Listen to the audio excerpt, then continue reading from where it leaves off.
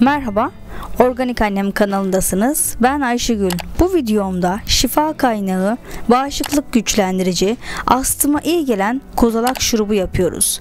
Tarifimi izleyerek siz de kolayca yapabilirsiniz. Kozalak şurubu için gerekli olan malzememiz 30 adet kadar çam kozalağı. Taze olması önemlidir. Şeker olarak toz şeker de kullanabilirsiniz, nöbet şekeri de kullanabilirsiniz. Yaklaşık 500-600 gram kadar. Kozalaklarımızı güzelce yıkıyoruz. Tozundan arındırıyoruz.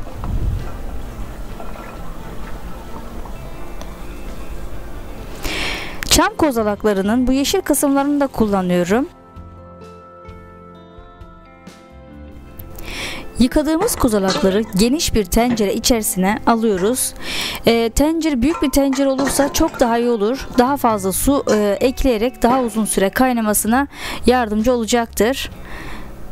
Yeşil kısımlarını da üzerine ekliyorum ve tencerem küçük olduğu için 5 litre su alıyor. Daha büyük tencereniz varsa daha büyük tencereye ilave edip ocağımıza alıyoruz.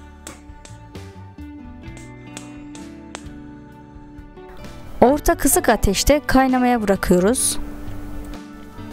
Yaklaşık 2,5-3 saat kadar kaynayan kozalaklarımız rengini artık verdi. Kozalaklarını süzüyoruz. Bir süzgeçten de geçirebilirsiniz.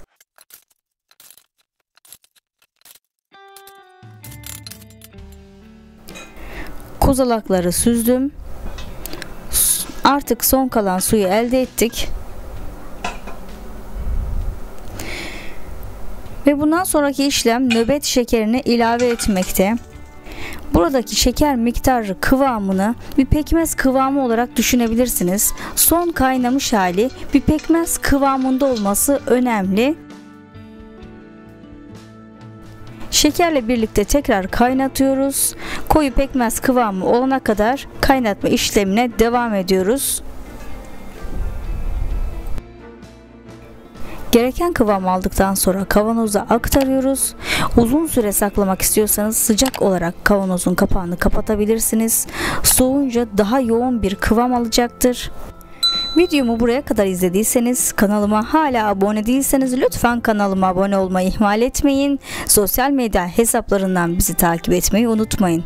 Bir sonraki videoda görüşmek üzere. Hoşçakalın, sağlıkla kalın. Organik Annem YouTube kanalında kalın.